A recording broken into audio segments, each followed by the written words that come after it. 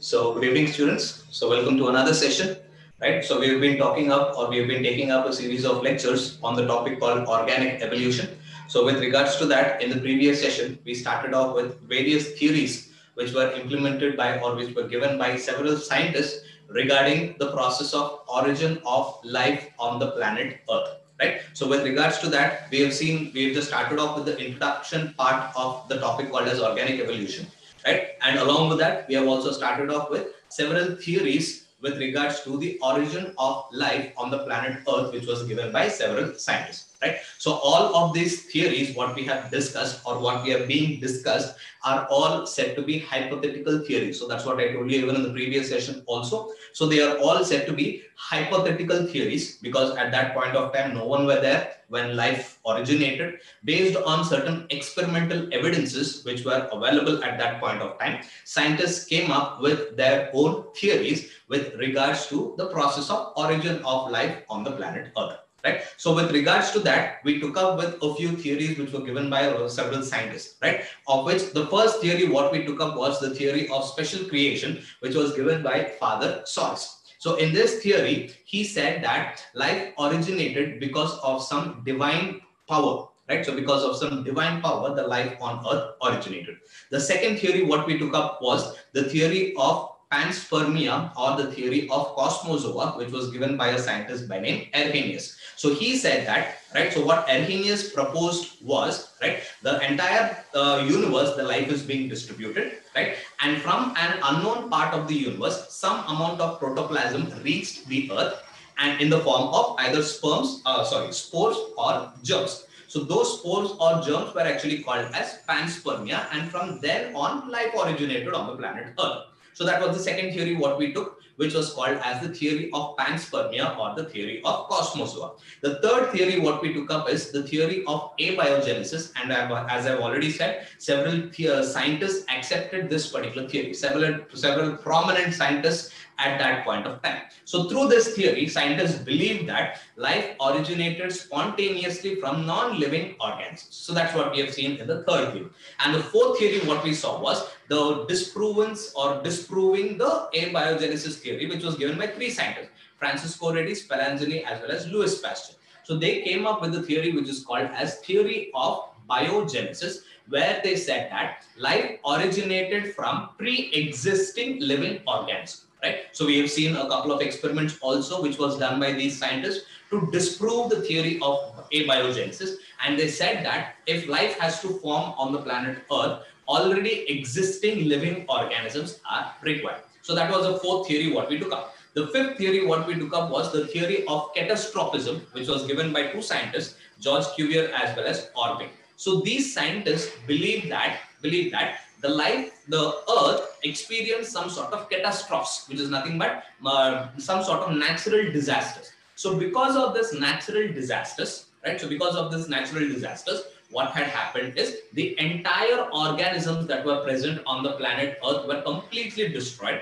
And once they were destroyed, new organisms with special features came in their place. So that they called it as the theory of catastrophes.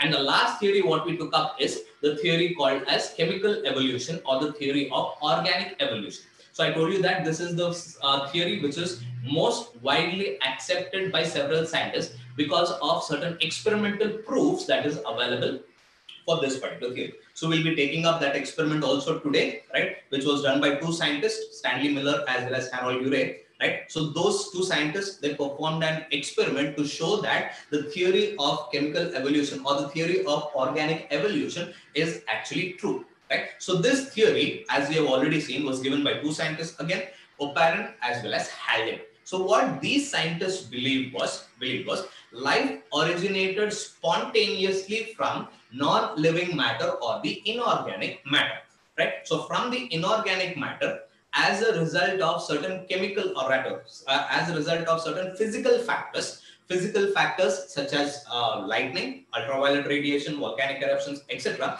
it led to the formation of simple organic molecules from inorganic matter or from inorganic molecule. So these organic molecules once they formed led to the formation of life on the earth. So that was the theory which was given by Oparin and Haldane in the theory of chemical evolution or the theory of organic evolution right? So we have been talking about the chemical theory of evolution, which was given by these scientists, right? So in this juncture, in the previous session, right, we started discussing about the theory of chemical evolution. So I told you that the theory of chemical evolution, or rather the theory of organic evolution could be studied under two heads. One is chemical evolution, followed by biological evolution. So in this uh, in this prospect, right? In the previous session, we started discussing about the chemical evolution process. So, right, how exactly chemical evolution took place or what exactly led to the formation of organic molecules. So that was the one we started discussing in the previous session. So just a quick recap of what we have seen in the previous session. Then we'll get into today's session, which is called as the biological evolution. Right. So as proposed by Oparin and Haldane with regards to the theory of organic evolution or the theory of chemical evolution, they said that life originated in two phases. One is called the chemical evolution phase and the other one is called biological evolution phase. So we took up with the first one, which is chemical evolution phase. So what did we see under that is whatever organic molecules are there are being trans sorry whatever inorganic molecules are there are being transformed into organic forms right? So before we saw that we actually discussed how the universe was formed. So almost 20 billion years ago the universe was formed. That was the, that is what the scientists actually believed right? We have also discussed a few things about the big bang theory right? So what they said is before the universe was formed the entire space was void empty and it was very very hot. As a result of which there was a massive explosion in the space and that massive explosion was called as the Big Bang. As a result of Big Bang, billions and billions of galaxies have been formed. So each galaxy again had several stars in them, they had several planets, they had the uh, gases, clouds of gases as well as dust present. So in such so many billions of galaxies, one such galaxy was the Milky Way galaxy where the Earth was formed. And we also saw that Earth was formed approximately 4.5 billion years ago. So we also discussed about what was the condition of the Earth, right? The primitive Earth or the primordial Earth when the Earth was first formed. I told you, I gave you a list of few things, right? The conditions of primitive Earth, what we also call it as the primordial Earth. So what was the conditions of the primitive Earth when the Earth was first formed? Number one, the temperature was very, very high, right? There was very high temperature. Second one, several lighter elements were formed in the form of or, or were present in the form of gases. Gases like ammonia, gases like methane, gases like helium, hydrogen, and water vapor was also present at that point of time. And the third one, what did we see? At that point of time, free molecular oxygen was not available, right? Since molecular oxygen was not available, the atmosphere at that point of time was a reducing atmosphere and not an oxidizing atmosphere. Why it was a reducing atmosphere? Because there was no free oxygen available at that point of time. Oxygen was present, but it was seen in the form of water vapor. Right. So it was a reducing atmosphere. Third one. First one was the temperature was very high. Second one, what did we say the second one? All lighter elements were present in the form of gases right? The third one, and I gave you the list of gases also. The third one is since no free molecular oxygen was available at that point of time, right? The type of atmosphere was a reducing atmosphere and not an oxidizing atmosphere. And number four, what we saw was the energy source at that point of time was lightning as well as ultraviolet radiation. And number five, what we saw was there were torrential rains present at that point of time. So if it rains for a long period of time, rather a very long period of time, almost years together, we start calling it as torrential rains. So because of this torrential rains, it led to the formation of water bodies such as oceans. So these were the conditions of the primordial earth or the primitive earth when the earth was first formed. Now, what these people believe is, Oparin and Haldane believe is, believe is, in the presence of this physical factors such as lightning or ultraviolet radiation, whatever gases are present in the atmosphere, those gases underwent some sort of chemical reaction, right, leading to the formation of simple organic molecules, right? Simple organic molecules such as amino acids were formed, right? Simple organic molecules such as the simple sugars were formed, fatty acids were formed, the nucleotides also were formed. Right. So all of these substances, that is the simple organic molecules, were formed in the ocean bodies, that is in the water bodies, or it was formed in the ocean. Therefore, Haldane started calling the ocean having these organic molecules as prebiotic soup, or he also called it as the hot dilute soup. So the, in this hot dilute soup again, right, all of these simple organic molecules led to the formation of complex organic molecules, right? So first RNA was formed, from the RNA DNA was formed, from the DNA again proteins were formed. So the central dogma of molecular biology was seen at that point of time, right? So this we started calling it as the process of chemical evolution where the organic molecule or rather the inorganic molecules were transformed into simple organic forms later on the complex organic forms this is what we have seen in the this is what we started discussing in the previous session so once the organic molecules were formed it led to the formation of protobionts this was the intermediate phase I told you, right? In between the chemical evolution as well as the biological evolution, there was an intermediate phase that was present. And that intermediate phase, we start calling it, we started calling it as the formation of protobionts right. So these organic molecules they all combine together they aggregated together to form aggregates of molecules. So these aggregates are actually termed as protobionts so we saw about two different types of protobionts in the previous session. One was called coacervates and the other one was called the microspheres, right? So from these uh, protobionts, from these protobionts, life originated. That's what the scientists believe, right? So we'll now get into the next phase, which is called as the biological phase. Right? Or the biological evolution. So we have discussed about chemical evolution. We have discussed about formation of protobionts and we have seen how the protobionts were also formed. And now let us discuss about the, the second phase which is called the biological evolution phase. Right. So what happens in this biological evolution phase so the third phase or the second phase what we have is biological evolution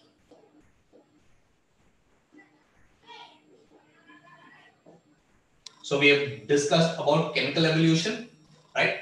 After chemical evolution, we saw about formation of protobionts. Then the next thing what we're going to discuss now is the formation of uh, biology or the formation of life forms, which is nothing but the biological evolution, right? So scientists believe that, as we have already discussed, scientists believe that universe originated almost 20 billion years ago, right? Then they also believe that Earth formed right? The planet Earth formed almost 4.5 billion years ago. Similarly, scientists believe that the life forms, the life forms first appeared almost 4 billion years ago, right? So the first life form which appeared on the planet Earth was formed approximately 4 billion years ago, right? So that is what we have. So let's start discussing about this biological evolution, right? So once the protobionts were formed, right? That is uh, the co-acervates or the microspheres were formed. These co-acervates or microspheres, they underwent some sort of modifications, right? These co-acervates or microspheres, they underwent some sort of modifications. And those modifications led to the formation of life on the planet Earth. So the first group of organisms, what we'll be taking up, right? The first group of organisms what we'll actually be taking up is called as anaerobic heterotrophs, right? They are referred to as anaerobic heterotrophs. So what are these anaerobic heterotrophs, right? So some of these uh, co-acervates or microspheres, right? So some of the co-acervates or microspheres which were actually formed, these protobionts, right? They underwent some sort of modifications they underwent modifications in such a way that right they underwent modifications in such a way that these protobionts were able to produce their energy or they were able to gain their energy by undergoing a process called as fermentation. They underwent a process called as fermentation. I hope all are familiar with fermentation right? So fermentation is one of the uh, respiration process which occurs usually in the absence of oxygen right? So whenever there is absence of oxygen the process of respiration usually occurs through this process called as fermentation right? So there are different types of fermentation, alcoholic fermentation as well as lactic acid fermentation. All that we have already discussed in a few sessions before, right? So we are not getting into the details of that. So these organisms, right? Some of the protobionts, they underwent some sort of modifications such that they were able to obtain their energy by undergoing a process called as fermentation. So why did they undergo process of fermentation? Because at that point of time, as I've already said, the atmosphere is a reducing atmosphere. Free molecular oxygen was not available for undergoing aerobic respiration. So they started undergoing an aerobic respiration, which is nothing but fermentation. So through this process of fermentation, they started to obtain their energy, right? They started obtaining their energy, right? Again, in the oceans. So scientists believe that the first life form appeared in the water and those first life forms are referred to as anaerobic heterotrophs. So we know what is anaerobic, absence of oxygen, and we are also familiar with heterotrophs, right? So these were the first formed life forms on the planet Earth. Two important things what you need to remember. First the first formed life forms on the Earth were actually formed in the water, in the oceans, right? Second one is second one is the first formed life forms were formed in the reducing atmosphere because at that point of time, as I've already said, free molecular oxygen was not available. Right, so the atmosphere was a reducing atmosphere because of which they had to undergo the process of fermentation. Right, so this is what is the first group of organisms or first group of living forms which were formed. Right, so next one once anaerobic heterotrophs were formed, the second category of organisms were formed. These were termed as chemoautotrophs. Right? They were termed as chemoautotrophs. Right? So what are these chemoautotrophs? So what are these chemoautotrophs?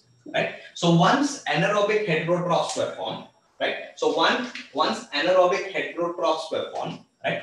During the course of evolutions, some of these anaerobic heterotrophs, right? Some of these anaerobic heterotrophs, right? So they uh, attain the ability of synthesizing organic molecules from inorganic molecules, right? So they started synthesizing organic molecules from inorganic molecules. So they started synthesizing their own organic molecules from the inorganic forms from their inorganic forms right? So what we are seeing here now is the second category of life forms which were formed which are referred to as chemoautotrophs. Right so what happened in these chemoautotrophs is some of the anaerobic heterotrophs what we have discussed right? Some of these anaerobic heterotrophs underwent some sort of modifications right? They underwent some sort of modifications such that they were able to synthesize organic molecules from inorganic form. So in simple, we can say that they started preparing their own food, right? So they started preparing their own food, right? So during the course of evolution, they attained the ability of preparing their own food from inorganic forms. So therefore, we start calling them as chemoautotrophs. So these were the second category of organisms which were formed. So the first category of organisms formed were termed as anaerobic heterotrophs. The second category of organisms formed were the chemoautotrophs. Now, moving on to the third category of organisms. The third category of organisms are referred to as anoxygenic, anoxygenic photoautotrophs. Photoautotrophs. Right? So they are referred to as anoxygenic photoautotrophs. Now, what are these anoxygenic photoautotrophs? Again, let us get back to the same thing. First form was anaerobic heterotrophs, right? Some of the protobionts, they underwent modification and during the course of evolution, they started uh, producing or they started obtaining energy by undergoing a process of fermentation, right? Next one. During the course of evolution, again, some of the anaerobic heterotrophs, some of the anaerobic heterotrophs, attain the ability of synthesizing organic molecules from inorganic form.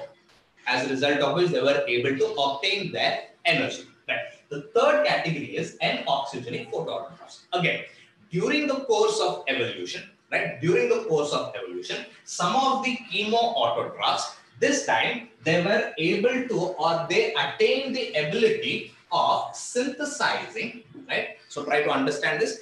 They attain the ability of synthesizing bacterial chlorophyll. They attain the ability of synthesizing bacterial chlorophyll. From where? From metalloporphyrins. This is important one. From metalloporphyrins, which was present in the ocean. Right? Metalloporphyrin present in the ocean. Right? Right? So what we are talking about is anoxygenic photoautotrophs right? So some of the chemoautotrophs, they attain the ability of synthesizing bacterial chlorophyll from the metalloporphyrin which was present in the ocean. Now, because of the presence of bacterial chlorophyll, right? Because of the presence of bacterial chlorophyll, right? So these organisms, they were able to fix carbon dioxide, right? So they were able to fix carbon dioxide, number one, right? And they were able to trap solar energy. Right? They were able to fix carbon dioxide and at the same time they were also able to trap solar energy because of the bacterial chlorophyll which was present. Right? Getting it? So let me go through it once again. Right? So during the course of evolution, once chemoautotrophs were formed, right? Once chemoautotrophs were formed, during the course of evolution again, some of the chemoautotrophs, they attained the ability of synthesizing bacterial chlorophyll from metalloporphyrins which were present in the ocean. Now, because of the presence of this bacterial chlorophyll, these organisms were able to fix carbon dioxide and at the same time, they were also able to trap solar energy. And one very important thing what you need to remember, even though they were able to fix carbon dioxide, even though they were able to trap solar energy, they were not able to release oxygen into the atmosphere, right? So they were not able to release oxygen, I'm writing it down here. They were not able to release atmosphere, sorry, not able to release oxygen into the atmosphere. Since they were not able to release oxygen into the atmosphere, we started calling them as anoxygenic.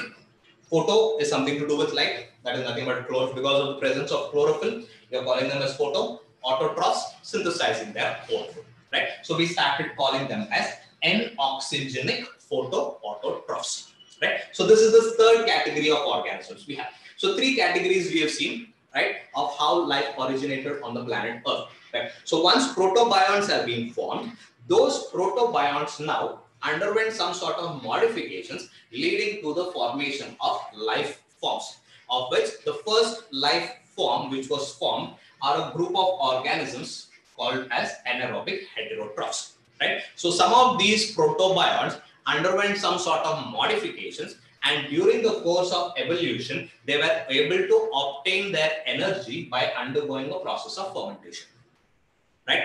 Next one, some of these anaerobic heterotrophs, right, during the course of evolution again, underwent some sort of modification leading to the formation of chemoautotrophs where they obtained the ability of synthesizing organic molecules from inorganic forms. This is the second category what have. The third category is some of these chemoautotrophs again during the course of evolution were able to synthesize bacterial chlorophyll from metalloporphyrins in the ocean. Right? So they were able to synthesize bacterial chlorophyll from metalloporphyrins which was present in the ocean. Now because of this bacterial chlorophyll, they were able to fix carbon dioxide, they were able to trap solar energy and at the same time, they were not able to release oxygen. Therefore, we start calling, we started calling them as anoxygenic photoautotrophs right? So these are the three categories what we have. So moving on to the next category, category number four, right? The last category what we have is, right? We leave that here. So the last category what we are going to discuss here is oxygenic photoautotrophs, right? The next one what we have is oxygenic photoautotrophs. So the fourth one here would be oxygenic photo autotrophs. So this is the last category what we have, the photo autotrophs. Right. So once anoxygenic photoautotrophs were formed, this again led to the formation of oxygenic photoautotrophs. Now what are these oxygenic photoautotrophs? We have seen that anoxygenic photoautotrophs, they started synthesizing bacterial chlorophyll from metalloporphyrin that was present in the ocean. As a result of which they were able to fix carbon dioxide, right? As a result of which they were able to fix carbon dioxide and they were able to trap solar energy also. But they could not release oxygen into the atmosphere. Whereas in this category, what happened is that is oxygenic photoautotrophs. What happened is this bacterial chlorophyll, bacterial chlorophyll, whatever was there, was replaced by true chlorophyll. Right. So what happened here in oxygenic photoautotrophs? Some of the anoxygenic photoautotrophs, again, during the course of evolution, they underwent modifications in such a way that the bacterial chlorophyll was transformed into true chlorophyll. Since true chlorophyll was formed, this time these organisms, right, this time these organisms were able to fix carbon dioxide, right? Number one, they were able to trap solar energy. They were able to trap solar energy and at the same time, and at the same time, they were also able to release free oxygen into the atmosphere, right? So they were able to release free oxygen into the atmosphere. As a result of which, reducing atmosphere, reducing atmosphere got transformed into oxidizing atmosphere. Right? Reducing atmosphere got transformed into oxidizing atmosphere right? So till anoxygenic photoautotrophs, the atmosphere was completely a reducing atmosphere because there was no free oxygen available in the atmosphere at that point of time. But once oxygenic photoautotrophs were formed, right? Once oxygenic photoautotrophs were formed, they were able to, since they were able to release oxygen into the atmosphere, the reducing atmosphere, whatever was there at that point of time, got transformed into oxidizing atmosphere. So the type of atmosphere what we are seeing now is completely an oxidizing atmosphere and that oxidizing atmosphere is mostly because of the release of oxygen from the oxygenic photoautotrophs. Till here, till then, it was completely reducing atmosphere. But once oxygenic autotrophs, photoautotrophs got evolved, at the same time, reducing atmosphere got transformed into oxidizing atmosphere. So this is important one, what you need to remember right? So this is what the scientists believe, or rather, uh, Oparin and Haldane believe how life has originated on the planet Earth, right? So initially they said that it was chemical evolution, right? Chemical evolution followed by the formation of protobionts. So once the protobionts have been formed, so those protobionts now led to the formation of life on the Earth. So the first group of organisms, the first group of organisms, what they have identified is um, anaerobic heterotrophs. The second one was chemoautotrophs. The third one was anoxygenic photoautotrophs. And the fourth one is oxygenic photoautotrophs. Right. So this is how life originated on the planet Earth. Right, as given in biological evolution, which was proposed by Oparin as well as Haldane.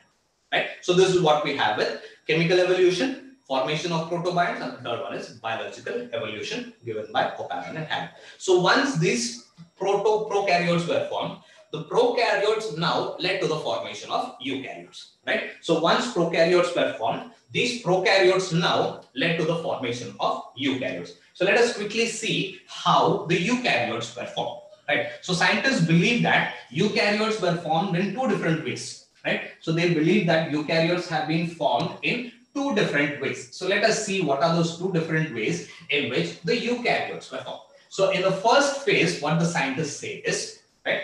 In the first phase, what the scientists say is, right? We're talking about the first phase in the formation of eukaryotes, right? So what they say in the first phase is, there is this ancestral prokaryote that is being present. So this would be the ancestral prokaryote. Let us consider this as P1, prokaryote 1, ancestral prokaryote, right? And then there is one more prokaryote, which is prokaryote number 2 So this is prokaryote 2. So what the scientists believe is, so this prokaryote 2 entered into prokaryote 1 right? So this prokaryote, so this they call it as ancestral prokaryote, ancestral prokaryote, right? So this prokaryote, which is P2, entered into ancestral prokaryote, right? So it entered into ancestral prokaryote. So this is the ancestral prokaryote here, P1, and inside that there is this P2, another prokaryote which had entered. Now this prokaryote, which is considered as P2 here, during the course of evolution, got evolved into cellular organelles.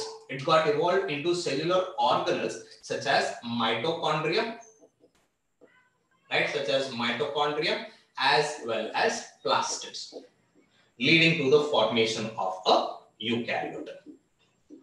So this was formed, this structure which was formed was a eukaryote. Now, so this is one way how the scientists believe the eukaryotes would have been formed. So what they say is some of the prokaryotes entered into an ancestral prokaryote, right? As a result of which this prokaryote now got evolved into cellular organelles such as mitochondria as well as plastids. So once mitochondria and plastids were formed, again, it led to the formation of eukaryote. So this is the first way how the scientists believe the prokaryotes or rather the eukaryotes would have been formed. The second way how the scientists believe is how the eukaryotes would have been formed is the second way how they believe is so there is this prokaryote that is being present. So this prokaryote, the plasma membrane of the prokaryote underwent some sort of invaginations, right? It underwent some sort of invagination and this invaginations led to the formation of the endomembrane system.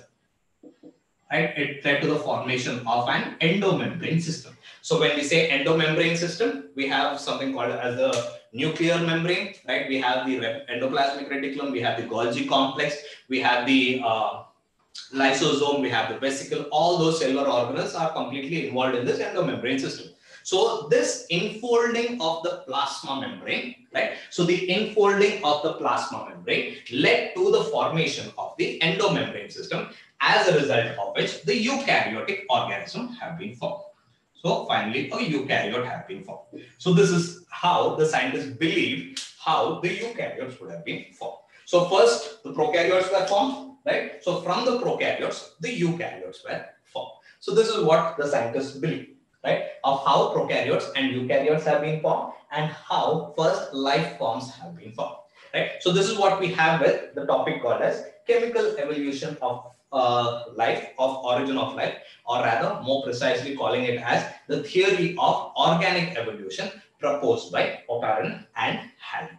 Right? So once Oparin and Haldane proposed this particular theory called the theory of chemical origin of life or theory of organic evolution of life, right? So two scientists again started working out on this thing, right? So they performed an experiment, right? So they experimentally wanted to prove saying that the theory which was given by Oparin and Haldane is being completely true, right? So they performed an experiment, right? So they started performing an experiment. So let us start discussing on the experiment which was performed by Oparin and Haldane, right? Sorry, experiment which was proposed to prove the theory of Oparin and Haldane. So we usually start calling this theory as the Urey-Miller experiment, right? So we start calling this theory as Urey-Miller experiment because it was proposed by two scientists by name Stanley Miller, right? So one scientist is Stanley Miller and the other one is Harold Urey. Harold Urey. So these were the two scientists who came up with the experiment, right, to show that the theory that was proposed by Oparin and Haldane is absolutely true. Right? So we start calling it as Urey-Miller experiment or we also call it as Miller-Urey experiment. So both are the same. So let us see what they did in this particular experiment. Right? So Urey and Miller, right? Urey and Miller created the primordial earth, the conditions of the primordial earth in the laboratory. Right? So they created conditions of primordial earth in the laboratory. So first, let us take up the setup and then we'll see what exactly did they do, right? So the first one, they took a beaker containing water, right? So a beaker was taken containing water. So this beaker was heated or this water was heated. So this is heated water where the temperature was said to be very, very high. It has been constantly being heated, right? So this started simulating the oceans, right? That was present in the primordial earth, right? So this beaker of heated water simulated the oceans that was present in the primordial earth, right? Next, they took another beaker, right? They took this time, we can take it as a round bottom flask, right? So they took a round bottom flask right? So they took a round bottom flask. So in this round bottom flask, they filled this with gases such as ammonia, right? Methane and hydrogen, right? So they filled this beaker with gases such as ammonia, methane and hydrogen. So water vapor is also present. So we'll see how water vapor came into that. And the ratio what they took for this is, right? It was taken in a ratio of 2 is to 1 is to 1. So this is important one, what you need to remember, right? So two parts of ammonia, two parts of methane and one part of hydrogen was taken in this particular chamber. So this chamber was named as the spark chamber. They call it as spark chamber. So in this spark chamber, along with gases, there were two tungsten electrodes which were fitted right? So two tungsten electrodes were fitted in this particular chamber, right? Positive and negative, right? So this two electrodes, it started simulating, right? They simulated this or they, it was simulating lightning, right? So the same conditions which were seen in the primitive earth or primordial earth were depicted in the laboratory. Number one, heated water body, which indicated the oceans, right? Heated water present in the ocean. Number two, the gases which were present in the atmosphere, right? Ammonia, methane, and hydrogen, which was present in the uh, atmosphere. And then to this spark chamber, they connected two tungsten electrodes to simulate the effect of light. So whenever electric discharge was given to this particular electrodes, it would create a lightning-like effect in this particular spark chamber right? Now, these two chambers were interconnected with each other, right? So they started connecting these two chambers, right? So these two chambers were interconnected with each other like this, right? So these two chambers were said to be interconnected with each other, right? Now, at the bottom here, again, at the bottom also, they were connected with each other, right? So at the bottom also, they were connected with each other, right? And at the bottom of the spark chamber, there was a condenser fixed here. So a condenser was fixed here so that the process of condensation would occur. So this was a condenser so that a process of condensation would start occurring here, right? So a condenser was fixed in this particular place. Right? A condenser was this is this is the setup of the Urey-Miller experiment, what they did, right? So complete setup of the Urey-Miller experiment. So what they actually meant was, right? So as and when the water was heated, as and when the water was heated, water vapor would form and that water vapor would start flowing into this particular chamber and it would finally enter into the spark chamber. So water vapor would start entering into the spark chamber. As and when the water vapor enters into the spark chamber, electric discharge was given with the help of these two electrodes, right? As a result of that electric discharge, what would happen? Some sort of chemical reaction happened in this particular spark chamber. As a result of that chemical reaction, several, because uh, whatever reactants were formed, those reactants will start moving into this. And as it moved into the condenser, all the gases would start becoming liquids, right? All the gases would be liquefied and that liquid will now again start moving into this water body.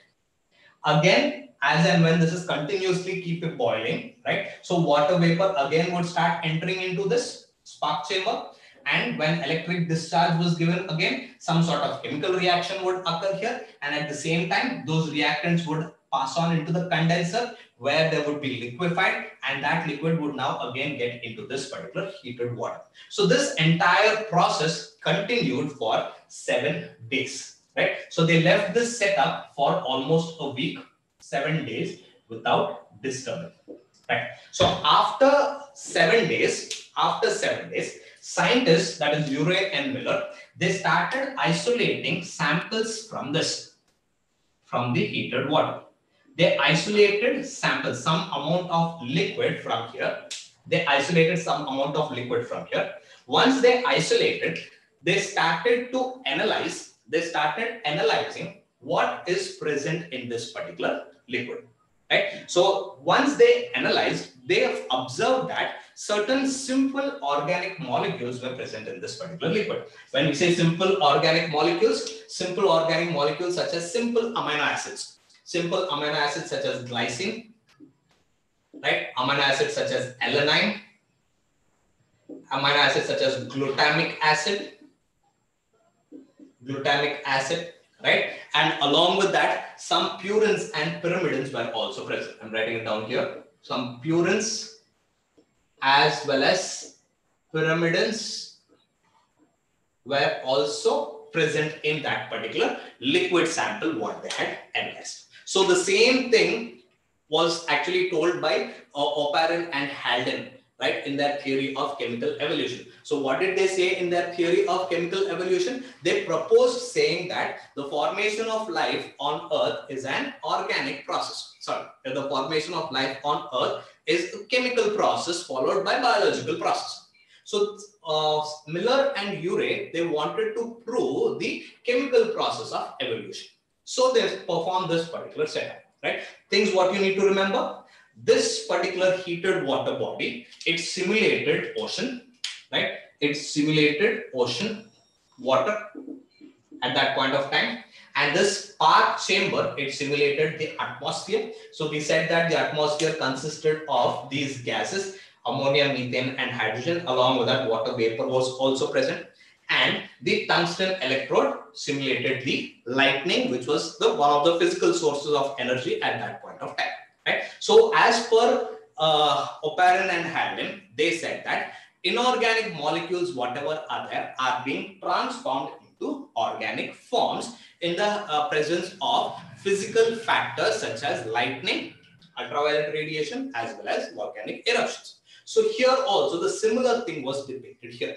So inorganic components, right, inorganic components in the presence of physical factor called lightning, it led to the formation of organic molecules which was present in the these organic molecules which was present in the heated water right? So this now represents the prebiotic soup which was proposed by Haldane right? So the ocean water right this particular water containing those organic molecules it depicts the prebiotic soup or the hot dilute soup which was proposed by Haldane right? So quickly going through it once again, right? What Oparin and Haldane said and what Stanley Miller as well as uh, Harold Urey are trying to explain, right? So Oparin and Haldane said that in the presence of physical factors such as lightning, ultraviolet radiation, as well as volcanic eruption, whatever organic matter is present, that is all the gases that are present in the atmosphere of the primordial earth as a result of those physical factors, right, led to the formation of simple organic molecules in the ocean. So that ocean having or water bodies having the simple organic molecules was referred as a prebiotic soup by Haldane. So once organic molecules were formed, those organic molecules led to the formation of protobionts that was coacervates as well as the microspheres. Once coacervates and microspheres were formed, that led to the formation of life on the earth, what they called it as biological evolution. So we saw about different categories of life which was originated. The first one was anaerobic heterotroph, second one was um, chemoautotrophs, the third one anoxygenic photoautotrophs, and the last one was oxygenic photoautotrophs. So from the prokaryotes, the eukaryotes were formed. Right. So once Oparin and Haldane gave their theory, right? And as I've already said, right? So this theory of chemical evolution proposed by Oparin and Haldane is considered as the uh, most valid theory pertaining to the origin of life.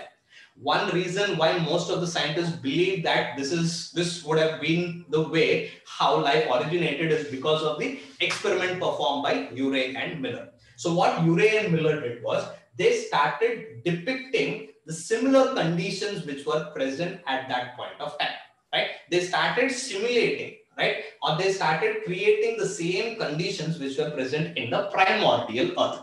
One, what did they took? They took a beaker containing heated water, which depicted or which resembled the ocean, right? Temperature was very high. It resembled the ocean, right? Second one, what they did was they took the gases, right? Which was present in the atmosphere at that point of time. Gases such as ammonia, methane, and hydrogen in the ratio 2 is to 2 is to 1, right? And tungsten electrodes, it resembled the lightning effect at that point of time, right? And they fixed a condenser here, right? So that whatever reactants were formed or the gases would be converted into liquid. So they left this entire setup for one week, right? So in this one week, what would happen is, since the water was boiling here, that boiled water would be transformed into water vapor and it would go into the spark chamber in the spark chamber, when electric discharge was given, at that point of time, some sort of chemical reaction would occur in the spark chamber, as a result of which the resultant gases would pass on into this particular condenser. As it would pass into this condenser, the gases, whatever are there, would be liquefied, and that liquefied substance or the reactants would now enter into this particular heated water, and this entire process would continue for seven long days. Right. So after a period of seven days, Urey and Miller started isolating the sample from here, from the water bodies, right? And they started analyzing this water. And as a result of that analysis, what they observed was the water bodies contain glycine, alanine, glutamic acid, simple amino acids, and along with that, they also contain purines and pyrimidines, showing that showing that this was the conditions of the primordial earth right? And during those particular conditions, it led to the for inorganic molecules led to the formation of organic molecules, right? So this through this experiment, they proved that whatever uh, theory which was given by Oparin and Haldane were exactly similar to their experimental setup.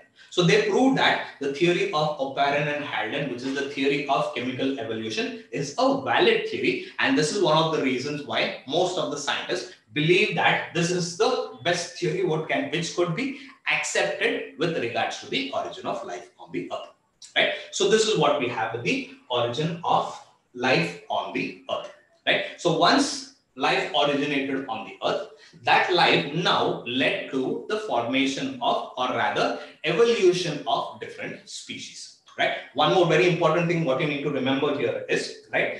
In present day origin of life does not occur why origin of life does not occur in the present day? The major reason for that is now what we are living is an oxidizing atmosphere. So for origin of life, reducing atmosphere is required. Since we don't have reducing atmosphere now, origination of life is not possible now, but rather evolution is taking place. Right. So we'll stop here for today. And in the next session, we'll take up with the topic called as evolution. Right. So how different organisms have been evolved from these life forms which have been originated almost 4 billion years ago. Right? Thank you.